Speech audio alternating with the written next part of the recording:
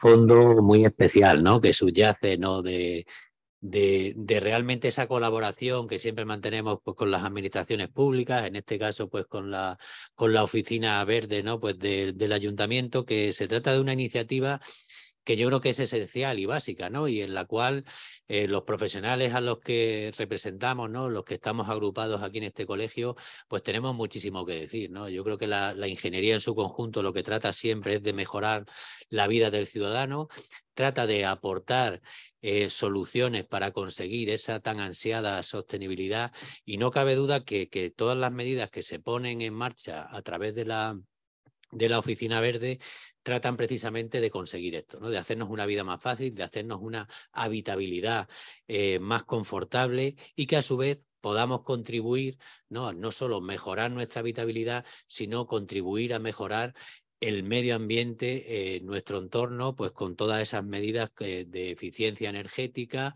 ¿no? que, en definitiva eh, van a servir de estímulo pues también para, para todos. Eh, se trata precisamente eso, de una colaboración público-privada, eh, una colaboración con la mirada siempre puesta en la, en la mejora de la sociedad y algo que nosotros como colegio profesional y como, como profesionales, pues como, como técnicos, tenemos que ser capaces de trasladar a la ciudadanía en su conjunto.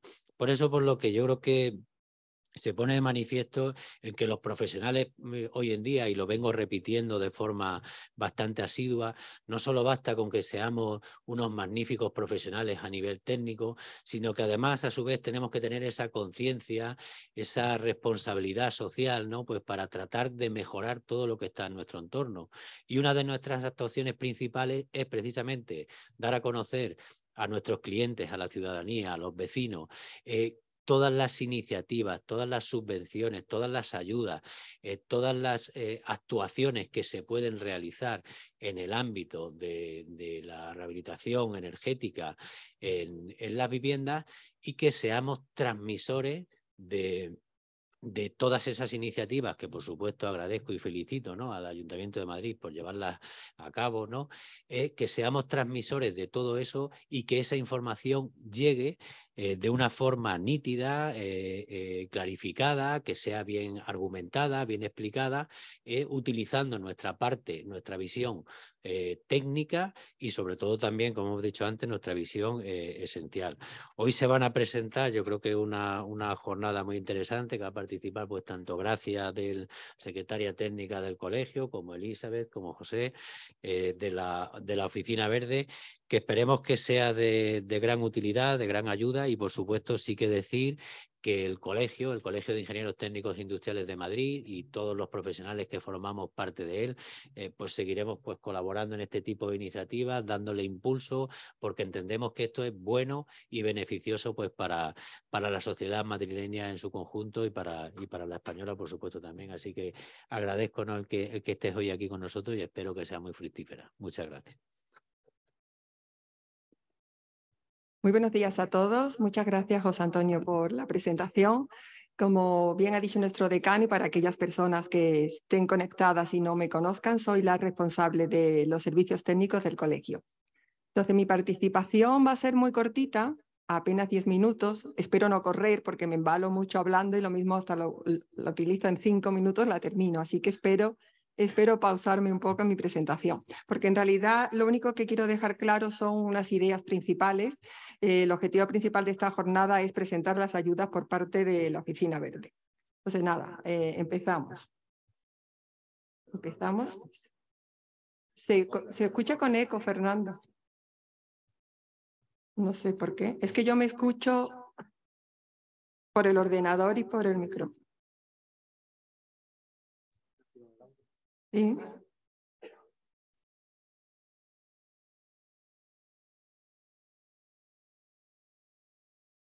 Ahora, ya está bien. No, se sigue, se sigue acoplando. A mí no me importa, no sé si a los compañeros que nos están viendo molesta un poco.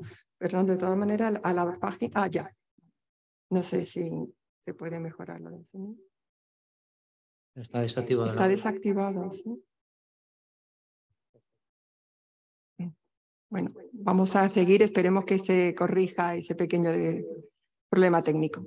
Bueno, empecemos. El papel del técnico en la, rehabilitación energética residencial. Solamente hay que ver que el parque inmobiliario español consume más del 30% de la energía total que se consume en España, pues para comprender la importancia de la rehabilitación energética en nuestros edificios. Además, actualmente el 95% de del sector inmobiliario en España se construyó antes de la última modificación del Código Técnico de la Edificación que fue en el año 2007, que fue el que introdujo mejoras importantes en la eficiencia energética. Esto nos hace ver la necesidad tan importante que tenemos de rehabilitar nuestros edificios. Existen muchas disposiciones, de ellas nos van a hablar con más detalle la Oficina Verde, el Real Decreto más importante en el tema residencial, el 853 del 2021, la Orden 1429 que es de la Comunidad de Madrid, que es la que aprueba los programas 3, 4 y 5, que son los que están actualmente en vigor, Plan Rehabilita Madrid 2022 o el 2023 que se aprobará en, brevemente. Pero independientemente de la disposición, disculpa, a la que nos acojamos, las dos ideas más importantes que os comentaba que quería dejar claro es que las ayudas necesitan de la intervención de los ingenieros para su consecución final. Por ejemplo, he puesto aquí un detalle curioso que en la orden que hasta antes os estaba comentando de la Comunidad de Madrid, la expresión técnico competente está citada 17 veces y la palabra técnico 53 veces. Con esto, pues no tengo nada más que decir de la intervención tan importante de, de los técnicos en la rehabilitación energética. Pero por otro lado, y aquí no me voy a extender porque ya lo ha dicho muy bien nuestro decano, los ingenieros tienen el deber de informar a sus clientes y además de concienciarle de la importancia de la eficiencia energética en el uso residencial. ¿Cómo interviene el ingeniero? Pues el ingeniero podríamos ver que interviene de tres, de tres maneras diferentes. En una parte formal, en la presentación de la solicitud. Hay muchísimos documentos, todos de índole técnica, por supuesto, que se exige para poder presentar las ayudas. Y a modo de ejemplo, pues por el certificado de eficiencia energética. Después tenemos que intervenir en la edificación, porque no se puede quedar en teoría, evidentemente. Los proyectistas tienen que desarrollar instalaciones de seguridad industrial, tienen que, tienen que intervenir en la obra del propio edificio y mejorar la eficiencia energética. Por ejemplo, un proyecto de instalaciones térmicas mm, en base al RITE. Y ya por último, os diría que tenemos también la obligación, los, técnicos, los ingenieros en general, de buscar, disculpar, las mejores técnicas y soluciones constructivas para las instalaciones de seguridad industrial. Es decir, no nos basta con cumplir con la reglamentación vigente obligatoria, sino siempre hay que ir más allá. Nos tenemos que interrogar, preguntar si, si se puede hacer mejor, incluso superando la reglamentación existente, e investigar en este sentido. En el punto primero que comentábamos de la parte más formal, pues, pues el certificado de energética, como ya os comentaba, quizás sea uno de los más principales, porque como podemos ver en estos gráficos, pues hay que presentarlo tanto antes como después de la reforma y tenemos que mejorar la demanda en calefacción, en refrigeración, tenemos que subir la etiqueta energética del edificio y sobre todo tenemos que bajar el consumo de energía primaria no renovable. Eh, bueno, pues también habría otra serie más de documentos, libro del edificio, un proyecto de rehabilitación integral, o varias declaraciones responsables que se obliga a que las firme el técnico y no el titular de la, de la vivienda, como por ejemplo relacionadas con circularidad o que no vamos a hacer un daño significativo al medio ambiente. Después, en el segundo apartado, cuando hemos dicho la intervención en la obra, es decir, tenemos que hacer proyectos, direcciones de obra, certificaciones, todas ellas relacionadas, pues, por ejemplo, pongo aquí algunos casos, cito algunos casos, pero serían muchísimos más eh, la sustitución de calderas por otras más eficientes, aire acondicionado con tecnologías de aerotermia, mm, mejore la regulación y control de las instalaciones, mejorar la envolvente, cambiar las, las ventanas, que en esto hay muchas ayudas también, mejorar la eficiencia energética en iluminación o la principal para nuestro punto de vista, que son las instalaciones solares fotovoltaicas. Y en los estudios técnicos, pues es muy grato nombrar en este sentido que desde nuestro colegio hemos liderado una guía para analizar la seguridad en las estructuras de las instalaciones solares fotovoltaicas. Lo ha liderado nuestro compañero Manuel Fernández Casares, que está aquí presente del colegio, junto con profesores de la Universidad Politécnica de Madrid. Ha sido un estudio muy interesante porque hemos utilizado también una norma americana que se basaba en pruebas de ensayos y para ver cómo se comportaban las, las estructuras de las instalaciones fotovoltaicas y hemos llegado a conclusiones muy interesantes y de hecho hemos solicitado en el registro del Código Técnico de la Edificación que se reconozca como un documento reconocido, porque además le hemos trasladado a un software para que sea más fácil su utilización. Sobre esto que lo comentamos a la Oficina Verde, que les pareció muy interesante, seguramente haremos una jornada específica solamente hablar de este tema y seguramente también lo ampliaremos para las condiciones de protección contra incendio de las placas fotovoltaicas. Bueno, y dicho todo esto, pues un poco reincidir en el tema de la parte de la ejecución de la obra, que todo se tiene que reflejar en un proyecto o en una memoria. Tenemos que cumplir el Código Técnico de la Edificación, por supuesto, la Ley de Calidad de la Edificación de la Comunidad de Madrid, y todo ello firmado siempre por un técnico competente y en su caso visado cuando el Real Decreto 1000-2010 así lo exija, que hay muchos casos donde por supuesto todavía es obligatorio el visado de los trabajos por el colegio profesional correspondiente. Tenemos que cumplir todos los reglamentos técnicos que afecten a las instalaciones, como el de instalaciones térmicas, que sería el principal. Pero luego hay otra parte que tenemos que solicitar el visto bueno de la administración pública, tenemos que solicitar una licencia urbanística, presentar direcciones de obra. Y en el caso de instalaciones de seguridad industrial, tenemos que presentarla en el registro de las EICIS. Esto es así en la Comunidad de Madrid porque está externalizado a las entidades de inspección y control industrial. En otras comunidades, pues será directamente a la Dirección General de Industria. Y luego queríamos hacer una mención especial a los proyectos de rehabilitación integral. Desde el colegio entendemos que no debemos nunca focalizar un estudio de una instalación en particular y olvidar el resto del edificio. Además de que si presentamos proyectos integrales mm, de rehabilitación integral, también podemos incorporar la accesibilidad, la conservación, el mantenimiento, la digitalización de los edificios y todo esto también lo contemplan las subvenciones. Pero sobre todo lo que más nos preocupa un poco a los ingenieros, bueno, y otros colectivos profesionales, por supuesto, que también tienen competencia en este campo, es que lo que decía, por ejemplo, no podemos poner una instalación fotovoltaica en una cubierta sin estar seguro que esa estructura va a resistir ese peso o que no se va a volar la instalación fotovoltaica. O no podemos hacer un búnker de aislamiento del edificio sin tener en cuenta que tiene que estar ventilado, porque hay que cumplir un documento HS del código TEN, hay que cumplir un RITE y todos tenemos muy reciente el problema que tuvimos con el COVID, que precisamente los contagios se producían en interiores porque no tenían las medidas de ventilación necesarias. Por eso nosotros animamos que estudiemos el edificio, ya que acometemos el edificio, no hagamos solamente un tema parcial, por ejemplo, cambiar las ventanas, no, llamemos a un ingeniero, que ese estudio también está, es un coste subvencionable y que nos analice el edificio en conjunto, porque a ver si por arreglar una instalación vamos a estropear otro. Y después todos estos trabajos, esto ya lo he dicho porque un poco estoy comentando más que leyendo en sí la diapositiva, lo pueden hacer los ingenieros técnicos industriales y los honorarios, recordar, como ya he dicho, que son costes subvencionables, también los gastos de gestión de la tramitación de las ayudas. Y como os comentaba antes que esto necesita una licencia urbanística, también comentaros por último que el colegio tiene una entidad colaboradora urbanística con el Ayuntamiento de Madrid, una IQ, donde podremos solicitar la licencia urbanística que la tenemos aquí en nuestra misma sede social, se llama eCity y nada, pues nos animamos a que la utilicéis para las tramitaciones de las licencias. Y nada más, ya cedo la palabra a Elizabeth Palomo, que continuará con las ayudas de la Oficina Verde.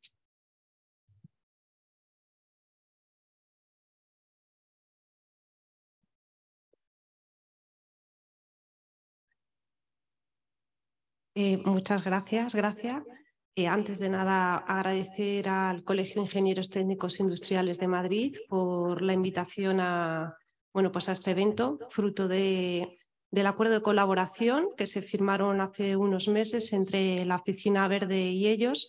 Y bueno, pues como decía, es un placer estar aquí y bueno, pues en la próxima os esperamos también allí en, en nuestra sede para, para continuar con las, con las jornadas.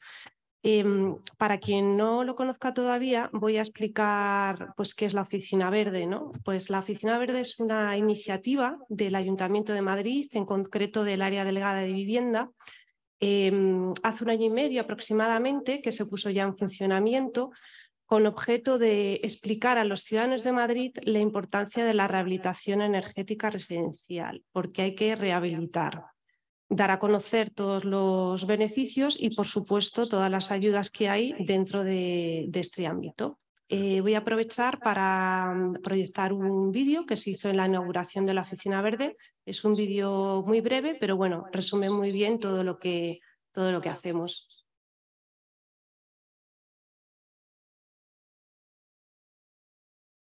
Creo que no se oye.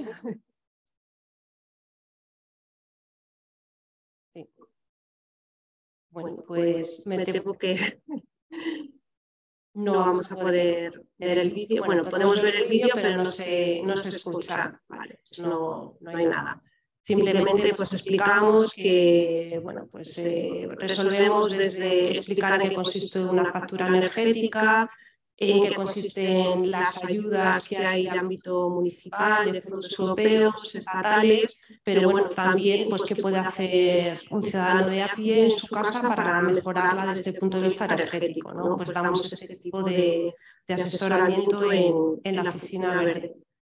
De hecho, eh, tenemos tres objetivos principales marcados desde el principio. Uno de ellos es la atención personalizada, normalmente con cita previa para resolver este tipo de cuestiones que os decía, pero también llevamos a cabo una importante colaboración público-privada. Es un punto de encuentro entre profesionales del sector. Aquí en la foto veis eh, pues una imagen ¿no? de, nuestro, de nuestro salón, donde Semanalmente hacemos jornadas con asociaciones, colegios profesionales, pero también con comunidades de propietarios, porque al final son ellos los que tienen que tomar la decisión de hacer una obra y es importante convencer a las comunidades de propietarios y también a los administradores de fincas para que se lleven a cabo. Y por supuesto, pues también llevamos a cabo una colaboración con distintas entidades, universidades y formamos parte de, de distintos proyectos piloto. Eh, porque hay que rehabilitar. Lo decía antes Gracia, ¿no? El parque inmobiliario, el consumo energético, un 30, un 30, un 40%, ya casi un 40% del consumo total de la energía se lo lleva al parque inmobiliario residencial. El de España y el de Madrid en particular es un parque realmente envejecido. O sea, urge rehabilitar. Urge rehabilitar por el bien del medio ambiente, para reducir las emisiones de CO2 y de gases de efecto invernadero, pero también por nuestra salud. Y no solo por eso, sino porque cuando rehabilitamos ganamos confort, confort térmico y confort acústico en nuestra vivienda. Por supuesto, reducimos la factura, la parte económica es primordial, hablamos de cifras entre 30 y un 60%, pero con una rehabilitación integral total podemos incluso superar ese ahorro del 60% de la factura. Y, y, otra parte fundamental que también va a nuestro bolsillo, que es la revalorización del inmueble cuando una vivienda, un bloque o varios bloques por efecto llamada se rehabilitan, el barrio entero aumenta de valor. ¿no? Eh, la empresa municipal de vivienda y suelo ¿no? pues tiene experiencia de barrios enteros de Madrid degradados donde se ha llevado a cabo una rehabilitación integral total y el barrio es otro totalmente diferente y por ende eh, es un efecto llamada para que la gente vaya a vivir allí y por supuesto tu vivienda va a aumentar muchísimo de valor, va a aumentar mucho valor. Ya solo por eso merece la pena rehabilitar, aparte de, por lo otro que, he comentado.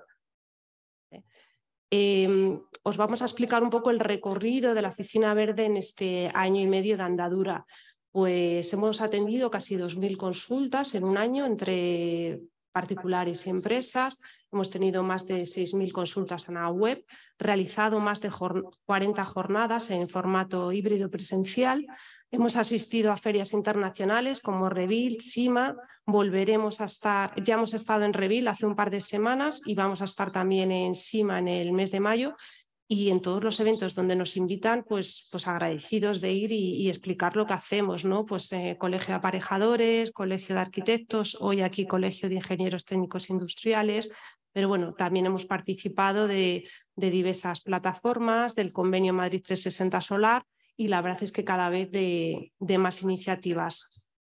La hoja de ruta que nos hemos marcado pues de aquí a 2030 ¿no? para conseguir los objetivos de desarrollo sostenible.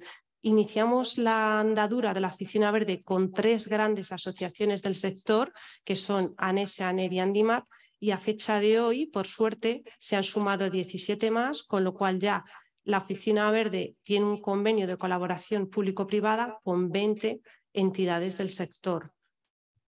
Aquí tenemos cuáles serían. Por supuesto, el Colegio de Ingenieros Técnicos Industriales tenía que estar, porque entre todos nos nutrimos de conocimiento, hacemos un efecto llamado, un efecto de bola de nieve para que la rehabilitación energética cale en el ciudadano. ¿no? Entonces, cuantos más agentes seamos hablando de esto, muchísimo mejor. os quiero comentar una iniciativa que mm, se ha desarrollado desde hace tres meses aproximadamente, tres o cuatro, que es acercar aún más la rehabilitación al ciudadano. Bueno, pues la iniciativa ha consistido en llevar la oficina verde a pie de calle. Entonces, eh, aquí veis los distintos desplazamientos de Madrid en los que ahora mismo estamos. Esta semana en concreto estamos en Fuencarral el Pardo. Hemos hecho ya una primera vuelta por los 21 distritos de Madrid en emplazamientos, pues como puede ser a la salida de la boca del metro, en pleno Atocha, en la plaza Mancloa, a la salida del centro comercial Abaguada, sitios de mucha afluencia de gente porque eh, no todo el mundo está en el tema de las redes sociales ni el tema online como estamos hoy. Entonces, tenemos que conseguir llegar a los barrios. Por eso nos estamos desplazando por todo Madrid. Entonces, esta iniciativa también quería que la, que la conocierais. Vale. Y bueno, qué duda cabe que mm, si hay ayudas, pues, eh, pues al ciudadano le cuesta menos rehabilitar. El momento es ahora porque hay una cantidad de ayudas muy generosas de distinto ámbito y aprovecho para presentar a mi compañero José Uruguru, que va a ser el que os va a explicar qué ayudas hay en este momento dentro del ámbito de la rehabilitación energética residencial.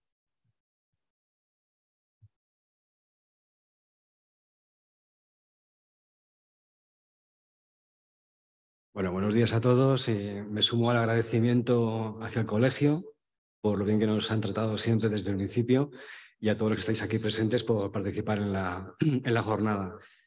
Eh, a nivel de ayudas, hemos dividido, eh, digamos, en varios bloques en función de la tipología y, digamos, del tipo de administración que las gestiona. ¿no? Empezamos con el Ayuntamiento de Madrid, más a nivel local, luego subimos un poco de nivel y llegamos a la Comunidad de Madrid, eh, revisamos los fondos europeos y finalmente el, panorama que puede tener la Administración del Estado a nivel de, deducciones en los impuestos que pueda, que pueda tener. En, a nivel de Ayuntamiento de Madrid tenemos el plan Rehabilita, que es el plan estrella.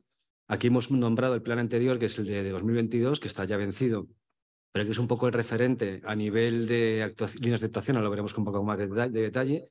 El año pasado fueron 53 millones de euros y hubo una línea de actuación nueva que era eh, con especial hincapié en energías renovables, proyectos de energías renovables. También hay un plan que se transforma tu barrio, que está dedicado a, mm, digamos que dos barrios que se han dividido en dos zonas, que es el poblado, dirigido de, de, Orcasitas y la meseta de Orcasitas, y el barrio San Pascual. Son, es un programa de tres millones de euros, eh, con un millón de euros para cada uno de los barrios. Y en vigor está el Plan Adapta 2023, que ahora lo vamos a ver con, con detenimiento, el Plan Renove de Calderas Comunitarias de Madrid 360 y la deducción en el IBI para instalaciones de energía solar que supone una reducción del IBI de 50% en tres años. Y próximamente, como acabamos de comentar, será en fase de tramitación el Plan Rehabilita de 2023. A nivel Comunidad de Madrid, hay un plan anterior, aunque está realmente muy terminado hace muy poco tiempo, que es el 31 de marzo, que es el Plan Renove de Calderas y Calentarios Individuales. Este plan, que está agotado, se estima que en breve va a salir una nueva convocatoria de 5 millones de euros con los mismos condicionantes que el, plan anterior. Eh, a nivel fondos europeos, hay dos grandes reales decretos que llevan año y medio, bueno, en el caso de los 853 un año y en el caso de 477 dos año y medio ya, que es el de mm, rehabilitación energética de entornos, edificios y viviendas ya existentes, eh, y el de autoconsumo, básicamente autoconsumo para el sector residencial y, mm, y sectores de otros sectores productivos. Y en a nivel de Administración del Estado hay una ley 2010-2022 que englobó el Real Decreto Ley 19-2021, que básicamente lo que permite es la deducción en el IRPF de todas las obras realizadas en, a nivel de rehabilitación energética con cualquiera de los eh, fondos anteriores. Como comentábamos, en el Ayuntamiento de Madrid, el Plan Rehabilitado 2022 lo utilizamos como referente, aunque está finalizado, porque lleva tres años de desarrollo este plan con unas líneas de actuación muy parecidas. Entonces nos da un poco de, soporte documental sobre lo que va a ser el plan de, este año 2023. Este plan divide la ciudad en dos zonas, zona CETU y zona CIRE. Ahora veremos un poco cómo se busca en qué zona está cada, edificio dentro de la ciudad y comparte líneas de actuación como son la accesibilidad, conservación, eficiencia energética y salubridad. La diferencia entre estar en zona CETU o en zona CIRE supone eh, tener un, un mayor porcentaje de subvención en cada una de las líneas de actuación. Así, por ejemplo, en zona C se puede llegar a un 75% en accesibilidad, a un 60 o un 70% en eficiencia energética, lo cual es una gran ventaja. El año pasado hubo una novedad en cuanto al desglose de líneas de actuación, que fue el aporte de, un, proyecto, de un programa de 2,8 millones de euros para eh, eficiencia energética desglosado en subvenciones para energías renovables en general y básicamente comunidades energéticas, donde se subvencionaba hasta con un 90% la instalación de, energías renovables en comunidades energéticas legalmente constituidas o hasta 70% los estudios técnicos previos para llegar a la comunidad energética. Y este plan de ayudas eh, estaba habilitado para cualquier zona de la ciudad, zona CETU o zona CIRE. Eh, para determinar, como comentábamos antes, en qué zona de la ciudad nos encontramos, el ayuntamiento ha habilitado un buscador de zona CETU al que se accede a través de la página transforma.madrid. El enlace no lo puedo ver muy bien aquí, pero debería estar aquí arriba. Sí, está ya, está arriba. Eh, se enlaza directamente con la página de transforma.madrid y en la zona del Plan Rehabilita Madrid 2022 tienes el enlace al buscador de zona CETU. Una vez que estás en el, digamos, en el mapa general de toda la ciudad, en la parte superior derecha de la, de la pantalla, tienes una especie de pestañita como una lagrimita, que es un buscador. Ahí solamente tienes que poner el nombre de la, de la, calle y el número y te dice directamente si es zona CETU o zona CIRE.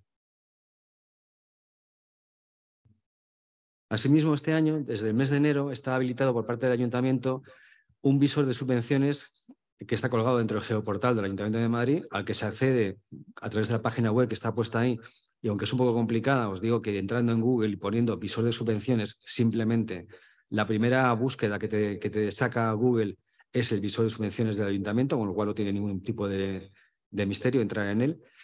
Y una vez que estás en él, tienes que entrar en el cuadro de mando. La flecha verde indica el enlace del cuadro de mando. Este cuadro de mando tiene muchísima información. Eh, informa justamente con un plano general de todos los distritos de Madrid, con todas las, todas las actuaciones que se han ido haciendo del plan Rehabilita desde 2020, desde 2020 hasta 2022 y un acumulado de actuaciones de accesibilidad, eficiencia energética, conservación y salubridad. Cada uno de los puntitos en función del color que viene marcado aquí en el mapa corresponde a una actuación eh, subvencionada por el ayuntamiento donde se, puede pinchar en cada una de ellas, ahora lo vamos a ver con más detalle en el siguiente de transparencia, determina pues el coste de la actuación, el presupuesto protegible, la subvención que se ha otorgado al, edificio, el tipo de obra que se ha hecho, las emisiones de CO2 eh, ahorradas, en fin, mucha información. Aquí se puede ver, además, en, los indicadores que pone el cuadro de mandos, el, tipo de actuación que se ha ido realizando en los tres años anteriores, cuál ha sido la más demandada generalmente. La más demandada ha sido la instalación de ascensores, la accesibilidad básicamente es la más, la más demandada, y luego la eficiencia energética. Esto se va balanceando un poco ya con el tiempo, según van los requisitos de, de cada programa se van actualizando. aquí vemos un pequeño detalle de uno de los edificios que se puede ir pinchando, puedes pinchar en cualquiera de ellos y te dará información detallada de dirección, si es zona CETU, zona CIRE, la fecha de, la adjudicación o de la publicación en el BOCAM, el tipo de, actuación que se ha hecho, si es de accesibilidad, de eficiencia energética, de conservación, el porcentaje de ahorro en emisiones de CO2, de energía en kilowatts hora habitado al año, en fin, toda la información de cada proyecto. Otro plan que está activo actualmente en el Ayuntamiento de Madrid es el plan Cambia 360. Eh, lleva ya algunos años también de, de desarrollo y este año está dotado con dos millones de euros se puede pedir desde el día 24 de marzo, hace ya tres semanas que está activo, hasta el 24 de noviembre. En el caso de una de las líneas de actuación, un poquito antes, pero bueno, en cualquier caso, 24 de noviembre. Y tiene tres líneas de actuación. Para calderas de gasóleo, cambiar calderas de gasóleo es prácticamente todo el total del por supuesto, 1.800.000 euros. Para cambiar instalaciones de, gas, de gasóleo existentes por sistemas de alta eficiencia conectadas a redes de suministro urbanas, es decir, gas natural o electricidad. También para terrazas sin emisiones eh, se, subvenciona la sustitución de instalaciones de aparatos de calefacción por combustión, todo lo que hemos contemplado muchas veces en las terrazas de, los, de las cafeterías, etcétera, que tienen eh, estufas que, funcionan con combustibles fósiles, que tienen unas emisiones, pues todo eso también está subvencionado con 100.000 euros para cambiarlo por, eh, por aparatos que no produzcan calor eh, con emisiones locales. Y por último, para cambiar sistemas de calefacción y ACS sin emisiones, aparatos que sí tienen emisiones se puedan cambiar, como por ejemplo con aerotermia.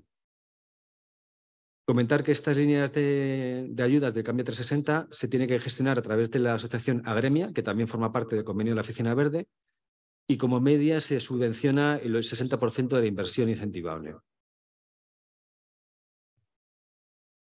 Eh, otro plan que está activo en este momento es el Plan Adapta. Plan Adapta 2023 que está dirigido a personas con discapacidad de algún tipo o em, sensorial o intelectual o que tengan enfermedades raras, consideradas como enfermedades raras. En este caso, el mínimo de discapacidad que se, puede, que se tiene que demostrar es el 33%, que incluya un grado de movilidad reducida positivo o que sea de carácter sensorial. También personas con discapacidad visual igual o superior al 65%, o personas con discapacidad intelectual igual o superior al 33%. Asimismo, se subvencionan obras en locales ubicados en planta baja de edificios de uso residencial. Eh, el plazo de presentación empezó el día 28 de febrero y termina el 29 de mayo.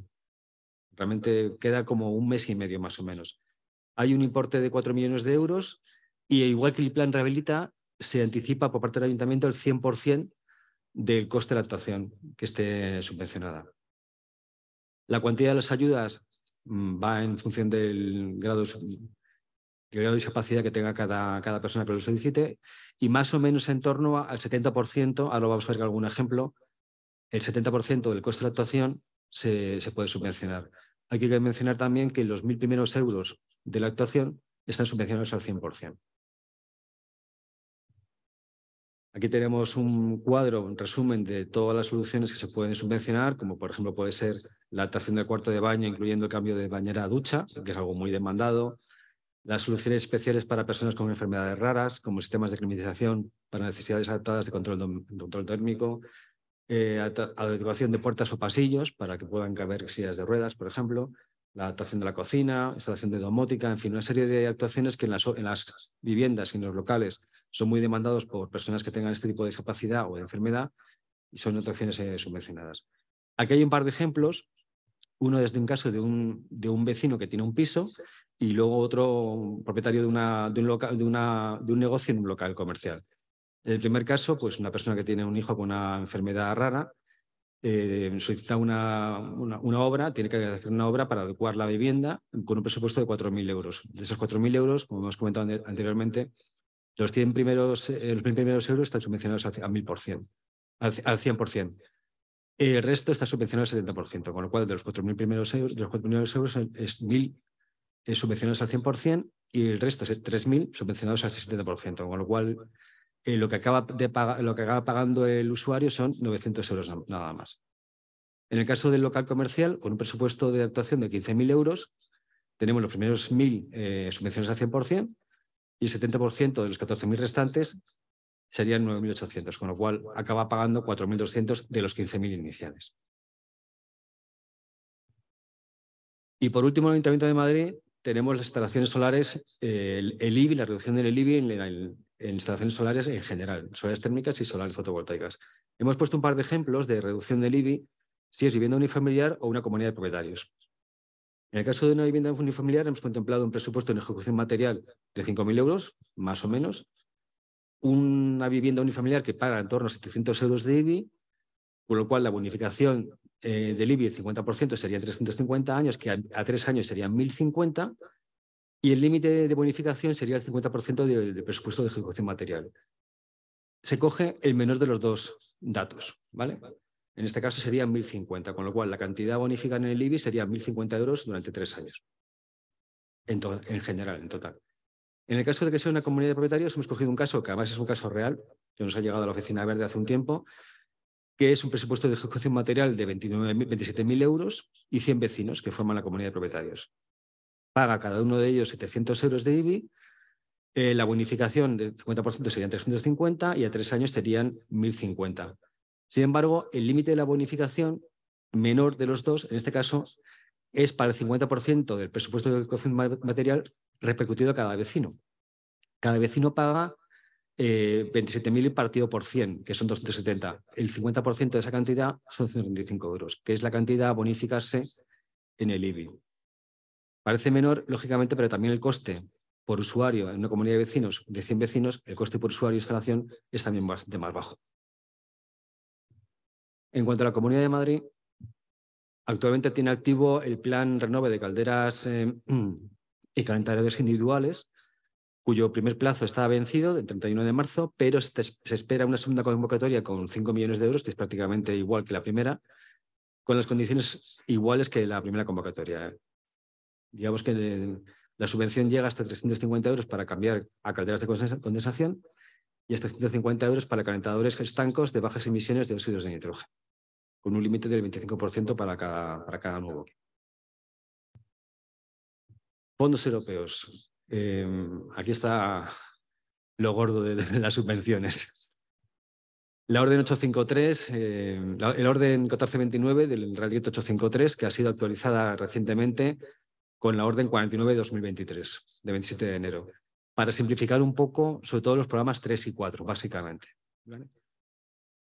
la cantidad, digamos, el presupuesto total que hay asignado para cada programa 3, 4 y 5, desde los que se ha salido convocatoria hace ya casi un año, son estas aquí, 94 millones para el programa 3, 8 millones para el programa 4 y 6 millones para el programa 5. Actualmente, las cantidades del 3 y 4 superan con creces el presupuesto total.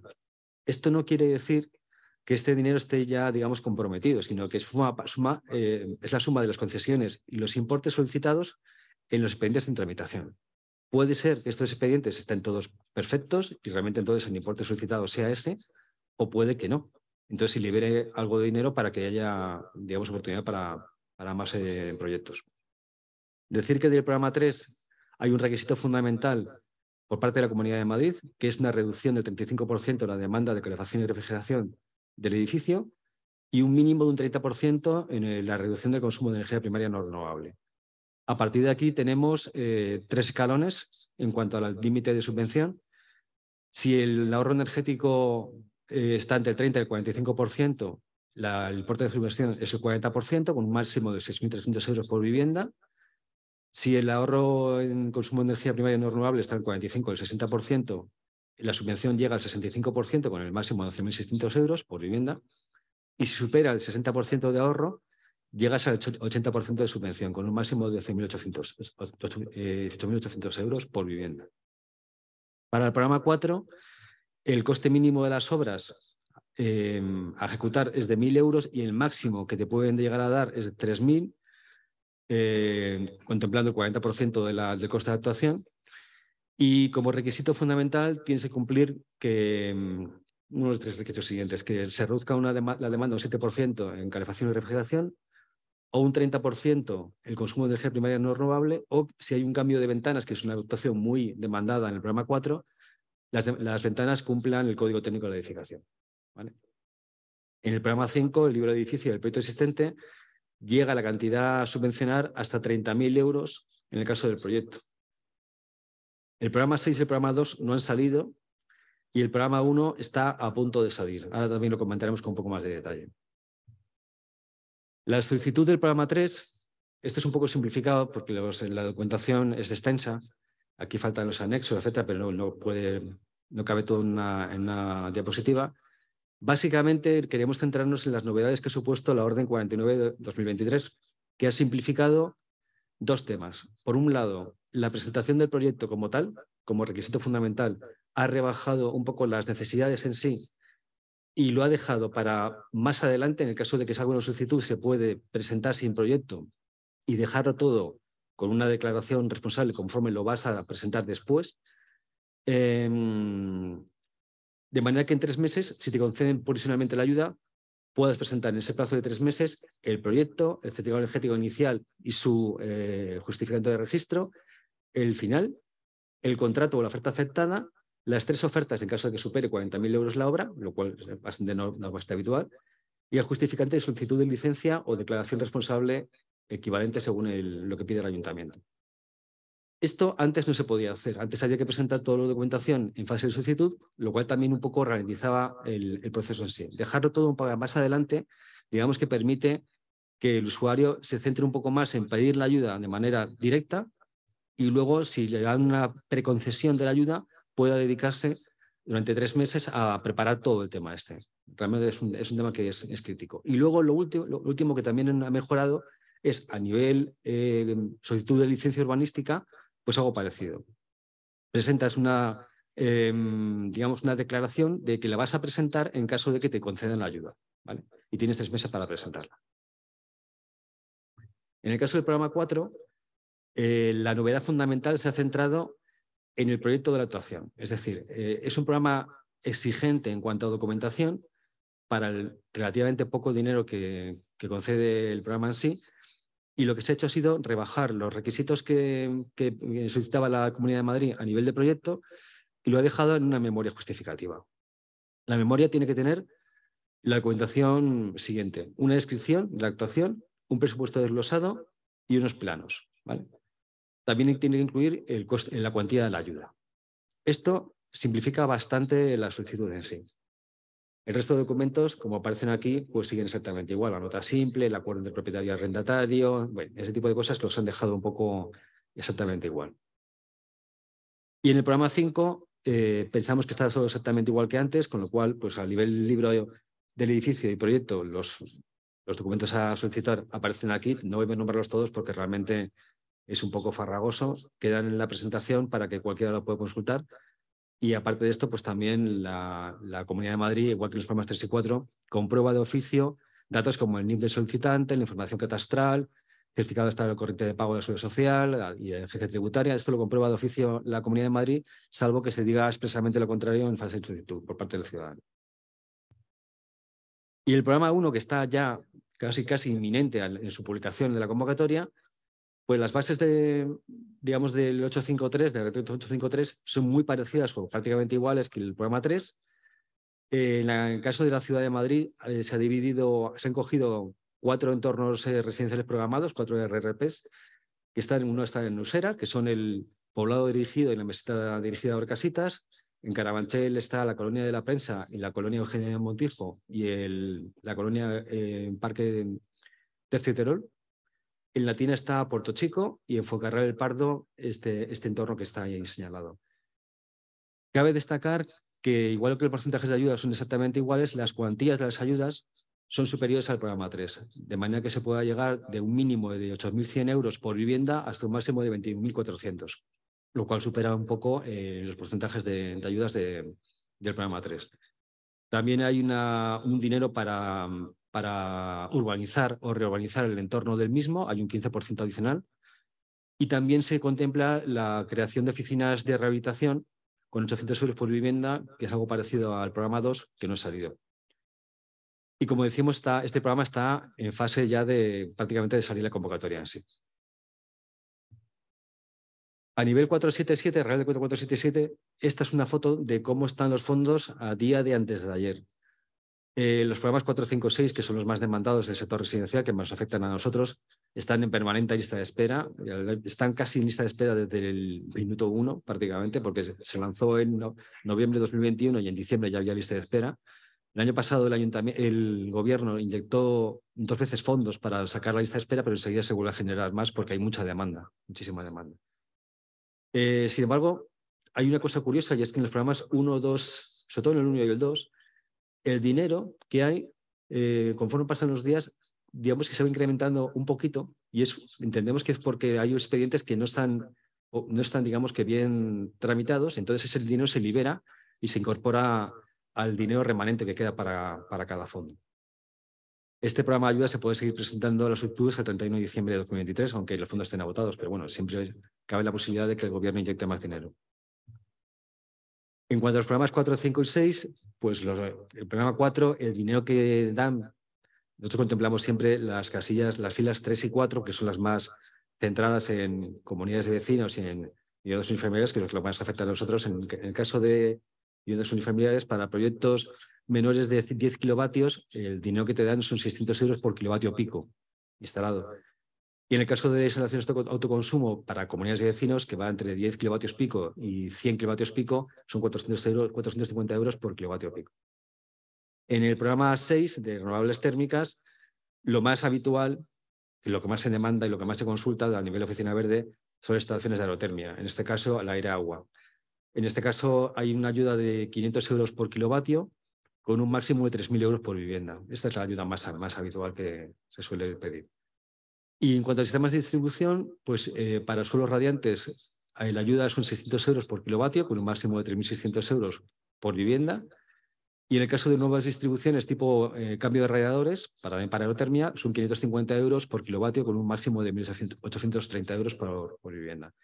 Cabe destacar que hay unas ayudas adicionales en caso de damiento o de presencia de marquesinas, que son las cuantías que aparecen en, en el gráfico de abajo, en la tabla de abajo. Esta transparencia es importante porque marca un poco qué ayudas son compatibles con, otras. Vemos que el plan Rehabilita es compatible con el 853, lo cual es muy ventajoso para la ciudad de Madrid. Hace que en algunas ocasiones las ayudas recibidas supongan el 100% del coste de la obra. Luego veremos un ejemplo, Elizabeth nos comentó un ejemplo en el que eh, con casos prácticos reales vemos que el 100% de la obra se puede llegar a cubrir. Sin embargo, el plan Rehabilita y el 477 de instalaciones de autoconsumo, por ejemplo, no es compatible.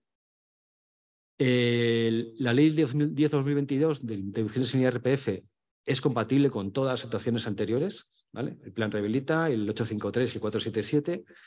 Y a nivel fiscalidad, eh, el plan Rehabilita computa a nivel eh, impuestos, es decir, aumenta la base imponible en IRPF sin embargo, los reales decretos de los fondos europeos, el 853 y el 477, pues no, están exentos de esa, de esa tributación. Y por último, la Administración del Estado pues tiene la, de, la deducción en el IRPF. Hemos hecho aquí un, par de casos prácticos de deducciones en el IRPF. El primero sería para una adaptación en el programa 4 y luego una para adaptación en el programa 3. El del programa 4 sería para un piso, por ejemplo, se hace un cambio de ventanas una actuación muy habitual en el programa 4 y que es muy solicitada por el, ciudadano. Suponemos un coste de la obra inicial de 12.000 euros. La actuación subvencionable sería en 3.000 porque se, han llegado se ha llegado a la conclusión mediante el certificado energético que se reduce un 20%, se reduce un 7% la, la demanda de calefacción y refrigeración del piso, con lo cual estamos en el máximo de, de la, concesión de la ayuda, que son el 40% de 12.000, supera los 3.000 euros, con lo cual 3.000 es la cantidad máxima a, subvencionar. El pendiente a pagar sería la diferencia entre 12.000 y 13.000 y 3.000, con lo cual serían 9.000 euros. Y la reducción en el IRPF, estamos en el primer tramo de reducción del IRPF, que es el 20%, que condiciona, que, supone, supone por Hacienda la primera entrada, el 20% de, de 9.000 euros son 1.800 euros, que es la cantidad que te puedes deducir de tu base imponible en, el IRPF. En el caso del programa 3, una actuación de, por ejemplo, un SATE en un edificio con un coste de, una, de la obra de 1.100.000 euros y 40 vecinos, eh, vemos que con esta actuación se llega al máximo de ahorro energético en el programa 3, con lo cual se puede llegar al 80% de subvención el 80% de esa cantidad suponen 880.000 euros. Pero como la inversión está topada, la subvención está topada a 18.800 euros por vivienda, pues entonces la inversión subvencionable sería el 752.000, que sería esa inversión por vivienda por 40 viviendas. el pendiente a pagar sería la cantidad total de la obra menos la subvención y la deducción en IRPF sería el 60% de esa cantidad a pagar, que serían 208.000 euros. Entre 40 vecinos, vecinos sale 5.220 euros. Estamos en, la tercera, en el tercer eslabón de la deducción por IRPF, que corresponde a edificios en sí, el 60%. Esta deducción tiene un máximo de 15.000 euros a dividir en tres años, 5.000 euros cada año. Como son 5.220 euros, pues 5.000 euros máximo el primer año y la cantidad restante para el segundo año. Bueno, pues ahora a partir de ahora eh, los aspectos técnicos y los casos prácticos que nos quedan por ver los va a comentar de nuevo mi compañera Elizabeth.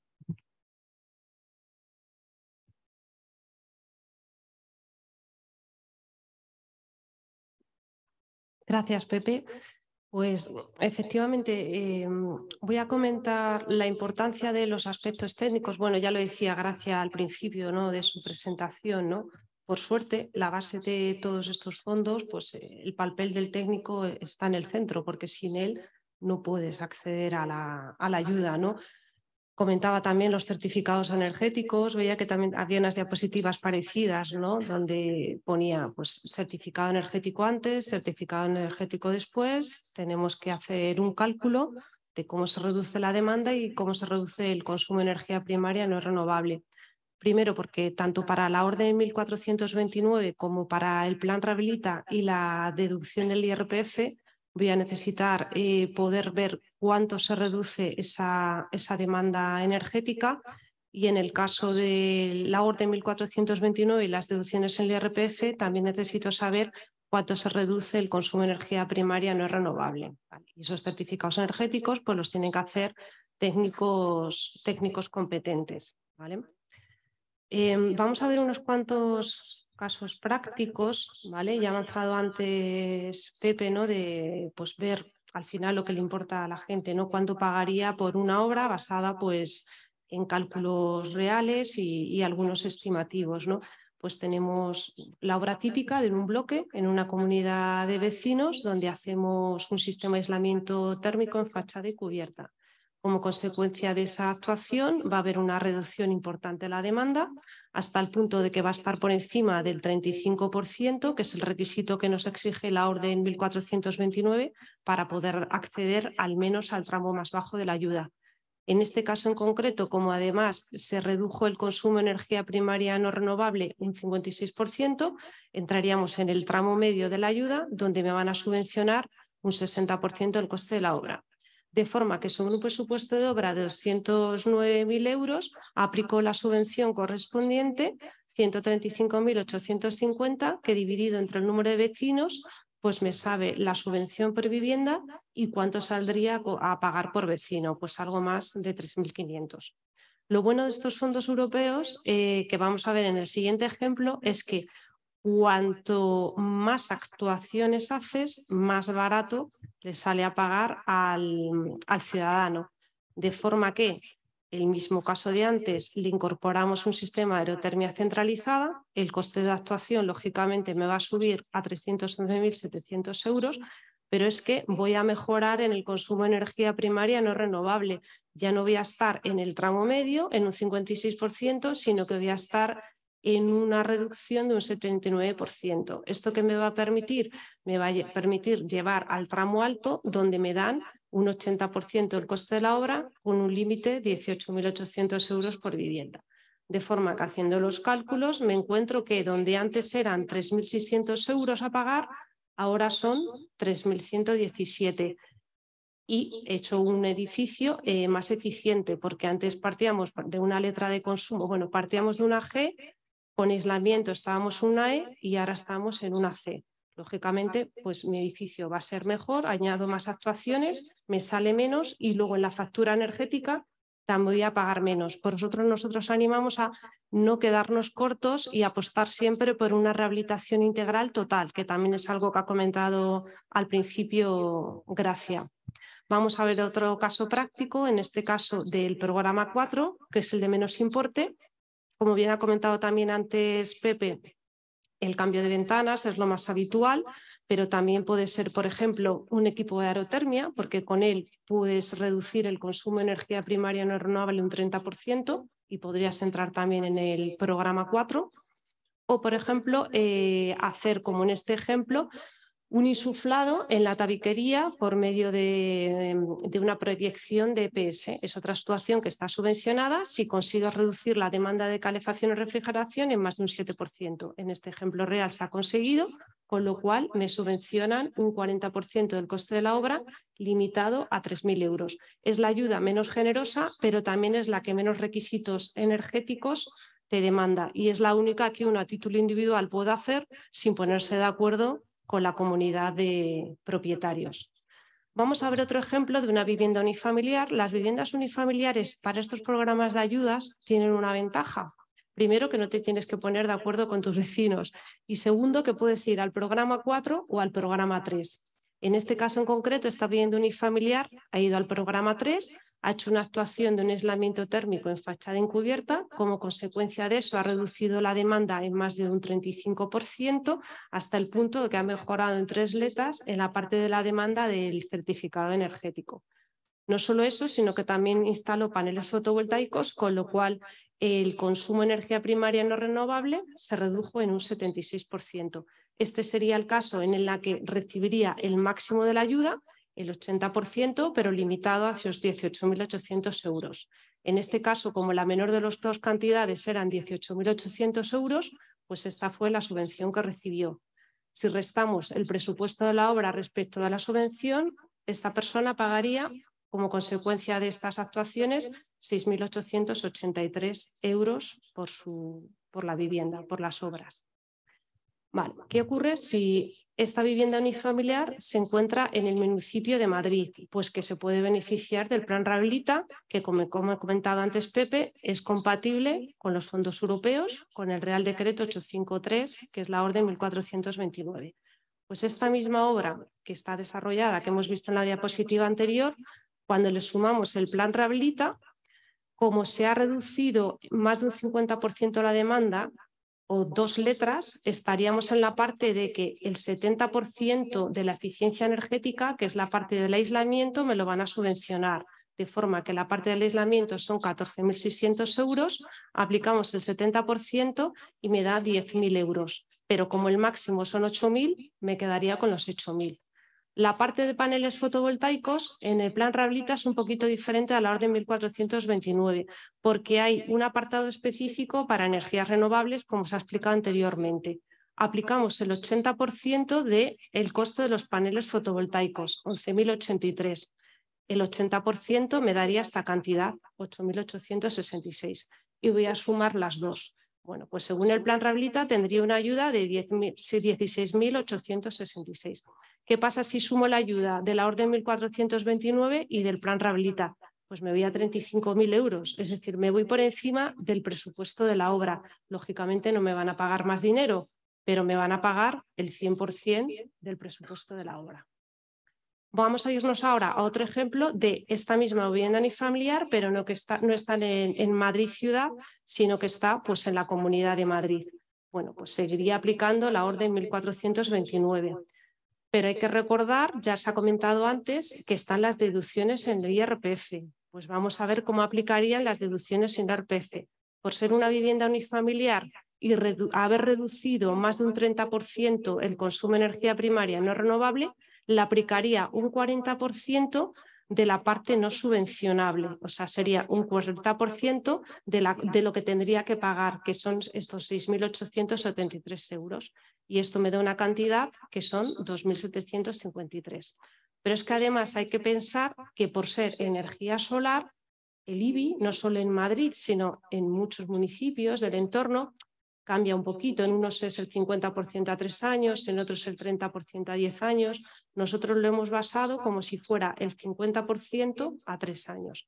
Bueno, pues me cojo la parte del coste de los paneles fotovoltaicos, que son estos 11.000 euros, suponiendo un IBI de 700, la mitad del IBI son 350, durante tres años son 1.050.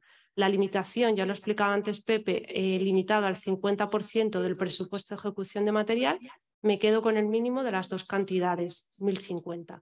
Con lo cual, a los 6.883 euros que tendría que pagar, le tengo que quitar las deducciones en el RPF y le tengo que dedicar el IBI de tres años. Con lo cual, de una obra de 25.000 euros, termina pagando el ciudadano solo 3.000 euros. Y estos serían los casos prácticos. Os animo a que entréis en la página web de la Oficina Verde, en el apartado de ayudas, donde lo tenemos todo también perfectamente desglosado.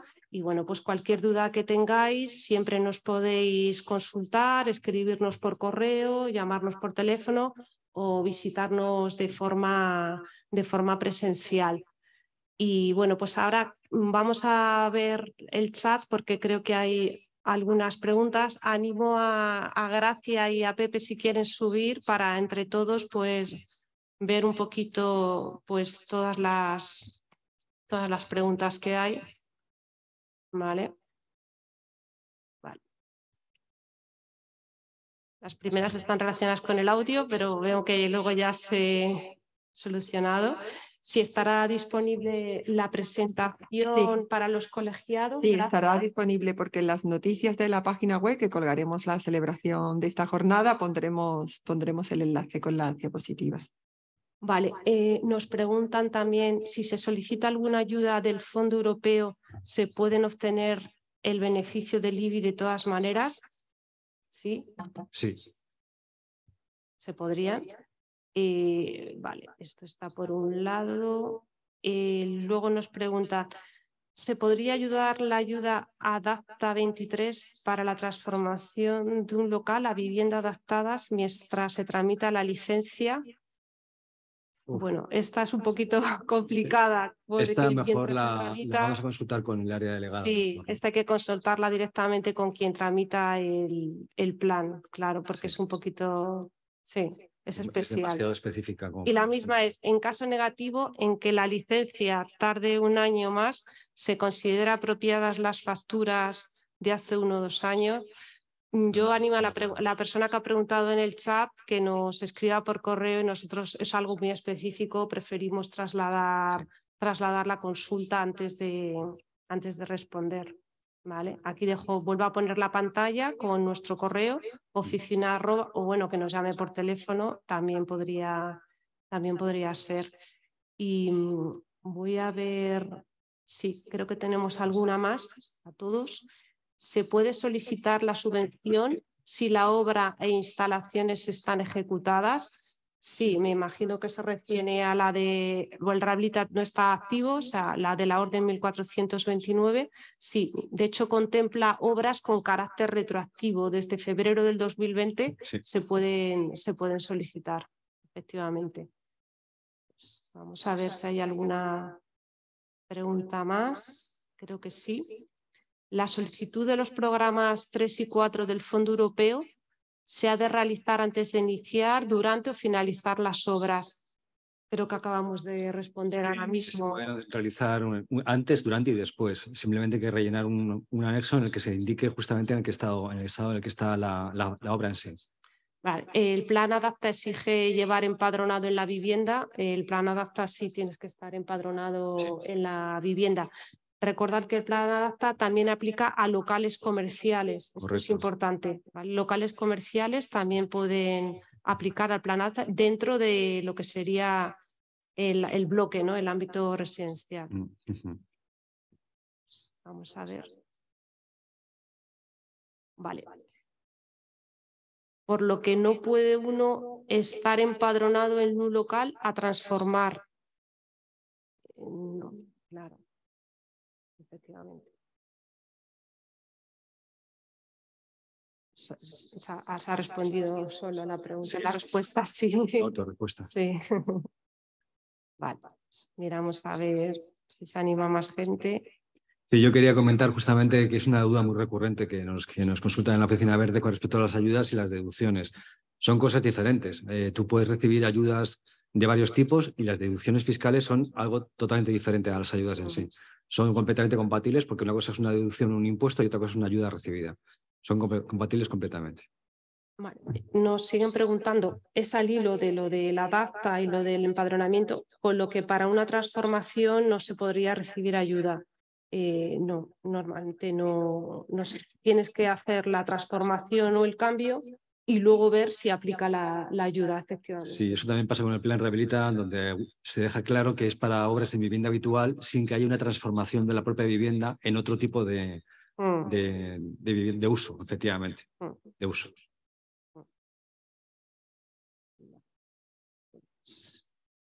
¿Alguno más?